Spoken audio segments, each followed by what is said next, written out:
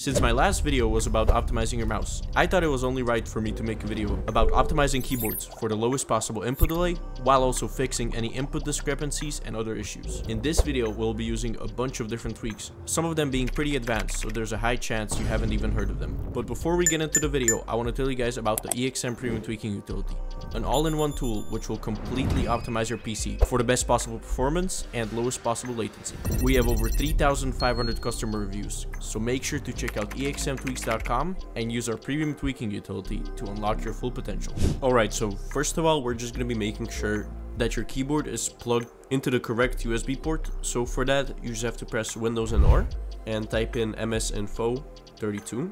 This will bring up uh, this little menu and in there, you just simply want to find your motherboard. So my motherboard is made by MSI and it's a Z790A. All you have to do is just search up uh, your motherboard manual by putting in uh, your motherboard name and the manual. And in your manual, simply find the page where your back panel connectors are shown. So you just want to plug your keyboard into a USB port which is 3.0 and higher, if you have access to that of course. If you don't have access to it, then it's not that big of a deal. It's good to have this sorted out. So the next step is going to be optimizing your keyboard software. I personally have a Wooting keyboard, so I'll be showcasing the settings there, but most softwares should have these options. If they don't, just skip them. So the first thing that I would recommend is making sure that your firmware is up to date. In Wooting specifically, it updates automatically when you turn on the software, but yeah. So after that, you want to set your polling rate to the optimal option, which for most of you guys, it should be 1000. And if your keyboard allows higher values such as 2000 or even 4000 or 8000, then the highest I would go is 2000 as uh, those high refresh rates can cause strain on your CPU which unless you have a really really high-end PC it's not worth the slight latency decrease. Generally just sticking to 2000 or 1000 is ideal. So next up there's things such as the actuation point. So for some of you guys your keyboard may allow you to change your actuation point which for me it does. And for that uh, you should change it to the lowest one possible so then there's rapid trigger. I personally use 0.4 millimeters. Uh, that is that works the best for me. And yeah, my keyboard also has uh, a thing which is called tachyon mode, and that just decreases my latency by turning off RGB and other useless features. So if you have a Wooting keyboard, make sure to turn that on. Another small tip is turning off your RGB on your keyboard, which will also slightly decrease your latency. You can also set it to a stationary effect, which is also fine. But yeah, so for the next few steps, we're going to need to download certain resources and you will be able to find them in our Discord server, which is the second link in the description. So just join that and go into the free tweaks category and find keyboard optimization guide.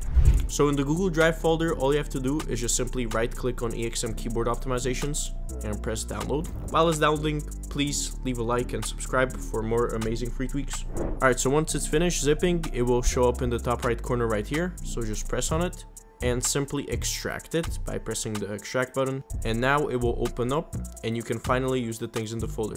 So the first thing that you want to do is create a restore point as that will allow you to revert all the changes done to your PC. So for that you just open the EXM restore point menu and in there just press 1 followed by enter and it will create a restore point. If you ever in the future want to use it, just press 2. It will open up the restore point menu and from there you can use it. The second step is just going to be some general keyboard optimizations done in the registry. And here, all you have to do is just run this batch file. Make sure to run it as administrator, that is very important. And boom, it applied all the tweaks almost instantly. So afterwards, we're going to be setting keyboard data queue size and just run this menu as administrator. And in here we have three different options for three different types of CPUs. And the way you find out whichever option is the correct one is just by pressing T. And once you're in CPU, simply take this and comment it down below. I'll reply to your comment, tell you whichever one to use. Once you get the reply, just open the folder again and apply the tweak. But my CPU is a high-end one. So yeah, that's everything for keyboard and mouse data queue size. Afterwards, we have some USB optimizations, which uh, precisely is just disabling USB power savings. So run that as administrator.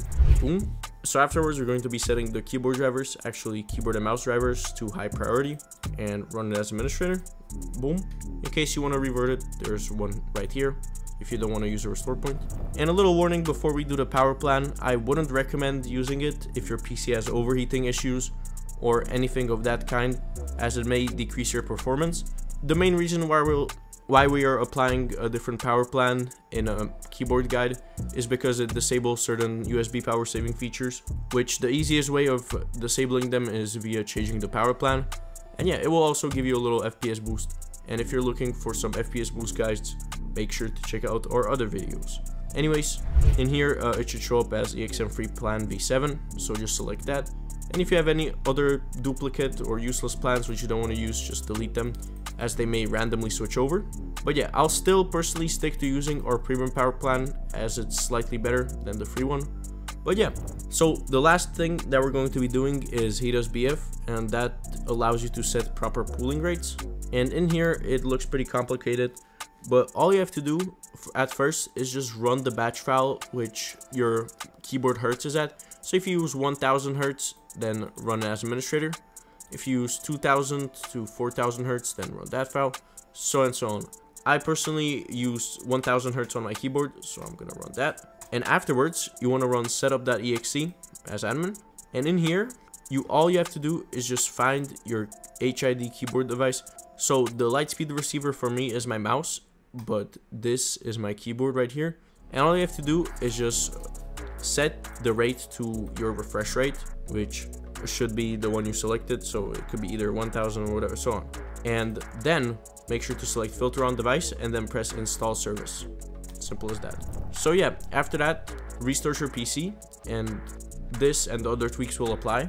But if there's some sort of error, like your keyboard will suddenly stop working, all you have to do is just unplug your keyboard from the USB port which it is in and then plug it into a different one and then plug it back to the original one. It will reset the driver and in turn it will revert this specific tweak and you will be able to use your keyboard again. Make sure to like and subscribe and check out exmtweaks.com if you want to completely optimize your PC. Sorry if my voice sounded kind of weird, I was pretty sick while recording the video, but you know, I had to get you guys right. Anyways, I'll see you later and have a great day.